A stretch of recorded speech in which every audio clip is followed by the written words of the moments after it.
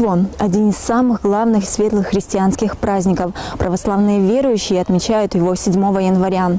И все мы знаем, с какими традициями связано его празднование. Но Рождество Христово – важная дата не только для православных, но и для лютеран, католиков и других протестантских конфессий. А что мы знаем о том, как празднуется католическое Рождество?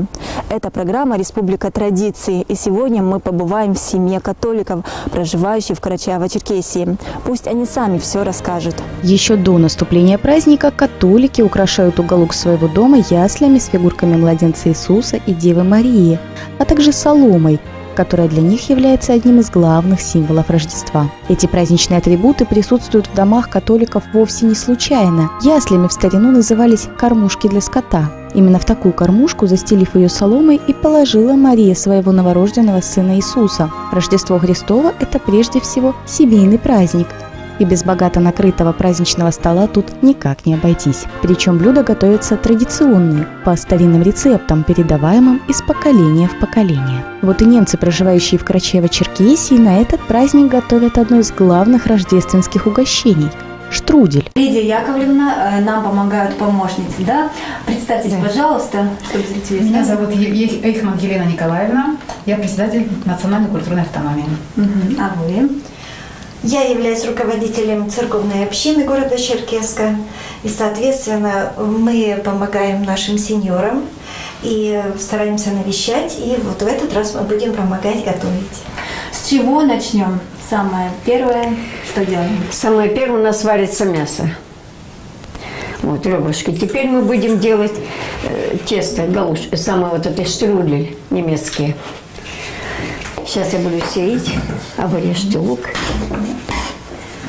Расскажите, пожалуйста, почему именно штрудель вы Ну, это наше любимое блюдо немецкое. Готовят по старинному рецепту. Вот у да, вас, это вы, вас в семье есть такие тоже рецепты, так, по которым вы готовите национальные блюда? Ну, основное, основное, может быть, самое Самый главный символ все-таки стола рождественского – это гусь. Запеченный обязательно с яблоками. Но сейчас уже ввели новшество, стали добавлять изюм, курагу, как это обычно. Ну и стали мы еще гуся печь в меду, это тоже новшество. Но самое главное, чтобы это был гусь. Но гусь это не так обязательно. Допустим, если семья не имеет такой достаток, чтобы именно гуся поставить на стол, то покупают или утку, или кому-то, если больше нравится, просто курицу. Ну, это уже как обязательный атрибут рождественского стола. Ну и все остальное. И еще обязательно по-немецки это звучит ревелькух. А, ревелькух, да, пекем. Да. да. Такой пирог, а сверху Сыпется крошка. Сыпется крошка, там сахарный, да, все, с маслом все это, это с мукой. И обязательно на столе, ну, еще и обязательно квашеная капуста. А капуста уже тоже разновидность, там можно ее и с масличком, и с лучком, потому что это, как обычно, вот я сколько помню с детства, то квашеная капуста это было как спасение стола, и без э, капусты квашеной, и также замоченные в капусте яблоки и огурцы, это тоже все подавалось к столу, потому что ну, не всегда люди могли в то время еще себе позволить это постоянно кушать, а такие вот столы накрывались. Самый, самый большой, самый радостный, самый такой светлый праздник всегда был это Рождество и всегда к этому готовились, и заранее там мясо готовили. А еще э, вот э, штрудель у нас готовится, это обязательно свинина и желательно свиные ребрышек. Ребрышек. Да, ребрышки. Вот видите, хотя мы выросли в разных местах, но мы все это знаем и это поддерживаем всегда и передаем тоже нашим детям это. Я слышала про какой-то пряник, который должен лежать год. Это у немцев? Ну, это, это что вообще? Это не знаю, что? Не это знаю. штолен. Не знаю. Это штолен. Он готовится. Как называется? Штолен. Угу. Штолен, да. Э, Штолен, он как пряник, но не все немцы это знают. И знаете, Штолен больше все-таки это в Германии делается. Да, в Германии. И они действительно знают конкретно рецепт. Так же, как тульский пряник, его, кроме как в Туле, никто не может так сделать, какой он там, также этот Штолен. Э, Это такой, который такой э, ну, пряник, будем говорить, что фактически он действительно так готовится, из таких, из таких ингредиентов, тоже, естественно, из муки. Но я, например, его ела только в Германии. Здесь мы его как-то так и не научились. Это к Рождеству готовили? Да, ну, желательно, ну, видите, вы же сами говорите, что он может проезжать год, но готовится он обычно в определенное время. Но готовят его и именно, может, заранее, а может быть, к столу рождественскому. Вот именно вот, э, он тоже как праздничный, это тоже как праздничный. Мы будем говорить, иногда даже его, когда идут в гости, несут его как подарок к столу.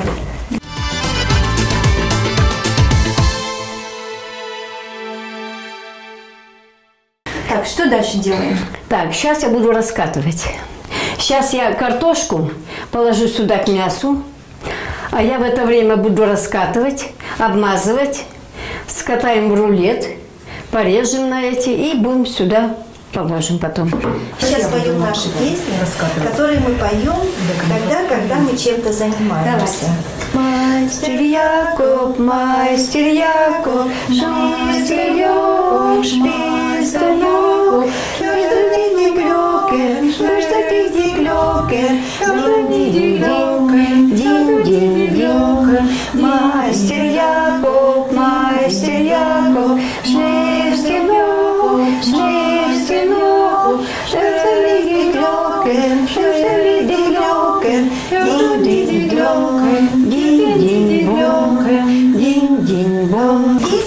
Карачаево-Черкесии, нашли друг друга, будем говорить, наверное, не случайно. Потому что, вы сами понимаете, люди, которые ну, хотят сохранить свою культуру, свои традиции, свои обычаи, обязательно ищут. Я долго искала, здесь у нас черкесский немцев, очень долго искала, потому что я переживала, что я могу забыть язык. А потом вот совершенно случайно я увидела объявление, и это было еще в 98 году, в 1998 году. И выяснилось, что оказывается не одна я немка здесь в Черкеске живу, есть общество, создается общество. И там в обществе я познакомилась с нашей замечательной Лидией Да. Я тоже думала, что только я одна Да. здесь, больше А Кто никого нет.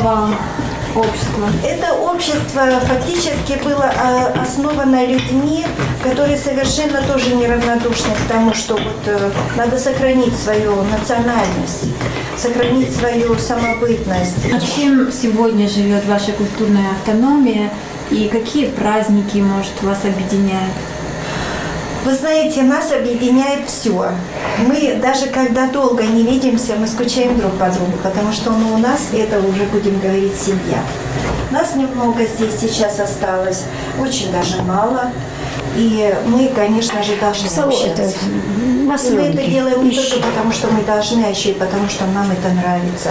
Потому что мы уже стали родными друг другу. И мы все горести все радости каждой семьи, мы вместе, мы поддерживаем друг друга. Это очень важно. Э, Если захотите, мы сможем вам еще что-нибудь спеть. А рождественская есть песня немецкая? Рождественские, да, конечно, мы можем вам Давайте. спеть рождественскую песню. Так, вот это маслом подсолнечным мы это самое, с- а теперь сливочное наверх, а для того, чтобы оно, тесто сейчас будем скатывать в, э, в этот, чтобы оно не прилипало, ну, не сильно это, слипалось. не слипалось, да. Что я- Не смогу, или на- Давайте мы споем рождественскую песню. В этой песне говорится о свечах, которые мы зажигаем на венке рождественском.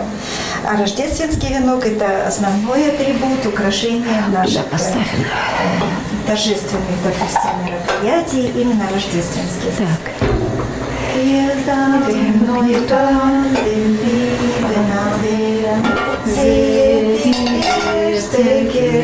Silbern, wir sagen euch an eine heilige Zeit, machen den Film Wege bereit. Freut euch, ihr Christen, freut euch sehr, schon ist nahe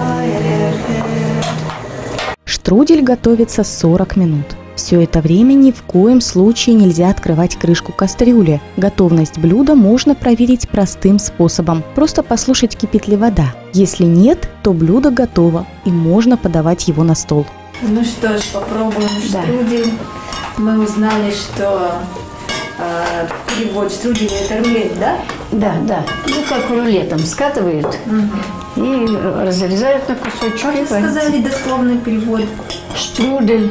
Тесто А, скрученное. Скрученное Тесто, тесто. да, тесто скрученное.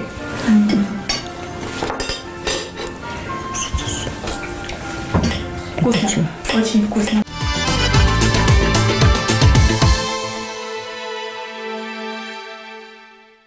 В Карачаево-Черкесии проживает около четырех сотен немцев. В республике даже есть их национальная культурная автономия. Праздник Рождества Христова представители общины ежегодно собираются вместе. Они танцуют, поют и приобщают детей к культуре и традициям своего народа. Несмотря на то, что российские немцы очень много лет назад, несколько поколений назад переехали в Россию, и все равно эти традиции стараются сохранить и передали нам. И мы теперь передаем нашим тоже молодым людям для того, чтобы они знали о своих традициях, традициях своего народа, традициях своих родителей, предков, и сохраняли это и передавали своим детям. Когда празднуется? Как и обычно, в Европе празднуется с 24 на 25 это Рождество.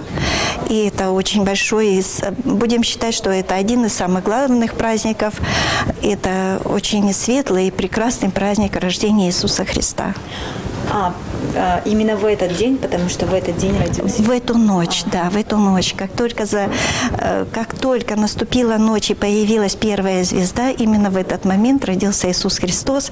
И ангелы, э, когда увидели, загорелась, что загорелась яркая-яркая звезда, и они тут же сообщили уже всем и пастухам, и всем тем, где родился Иисус, всем сообщили, всем людям, которые там жили, прохожим, всем сказали, ангелы сообщили, что родился Иисус, Спаситель наш.